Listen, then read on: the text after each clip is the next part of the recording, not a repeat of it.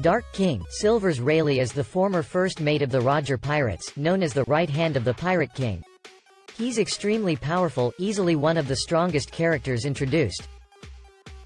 Shakky vouches for his strength by saying that he is 100 times stronger than all of you boys, referring to the 11 supernovas. Furthermore, when Garp was informed Rayleigh may be on Sabaody Archipelago, he told his men not to confront him. He reasoned that the Marines should not confront two legends, Whitebeard and Rayleigh at the same time. Due to his phenomenal strength, he was able to fight Admiral Kizaru equally and he even managed to scratch the Admiral. However, Rayleigh himself has admitted that he is not as young as he used to be, and can tire in battle. This may mean when he was in the prime of his strength he may have been even stronger than when he matched Kizaru, a true testament to his strength. Jinbei, a former Shichibukai who was used to seeing Whitebeard, was later shocked to see Rayleigh in person.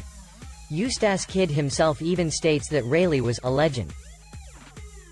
Another glimpse of his strength is seen when he seemingly snatches off Camie's exploding slave collar and tosses it into the air before it could self-destruct.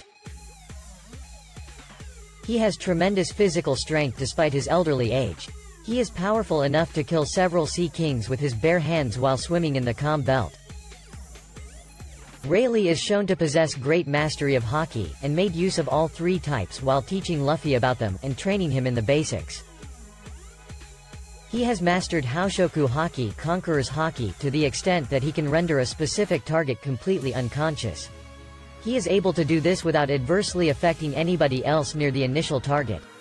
He disabled an entire hall room of hostiles with this power, save for the Kid Pirates and Heart Pirates. Only very strong and determined individuals can resist from being knocked unconscious.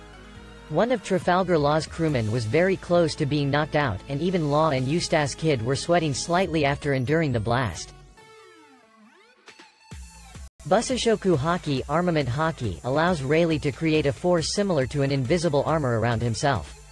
Rayleigh has the ability to bypass the powers of a devil fruit user, touching the substantial body beneath whatever protection the fruit provides as seen when he used Busoshoku Haki to kick and redirect an attack from Admiral Kizaru. Recently, it is shown how Luffy is mastering armament Haki in Wano. In the prisoner mine, Luffy wipes out the pleasures in the sumo ring with ease as he works on repelling his opponents with Busoshoku Haki without touching them, like what Rayleigh did when he first demonstrated the Haki to him. Armament Haki Rayleigh showed him was really advanced since he could hit or deflect objects without even touching it. Kenbunshoku Haki observation Haki can allow Rayleigh to sense the emotions and nature of others. The strength and mastery Rayleigh has over this kind of Haki is also shown by the fact that he can sense people all over the island he is currently on while most people can sense only in their immediate vicinity. Rayleigh also used Kenbunshoku Haki to dodge an elephant's attack without directly seeing the elephant. Recently the Luffy Gear 4 vs Rayleigh filler scene in episode 870 reminded us that Rayleigh is still one of the strongest beings in the entire One Piece world. Luffy Gear 4 Bounceman was just a punching bag to Rayleigh. He probably could have one-shotted Luffy just like Kaido did if he was a bit more serious. This could mean that Rayleigh is close to Yonko level if not Yonko level.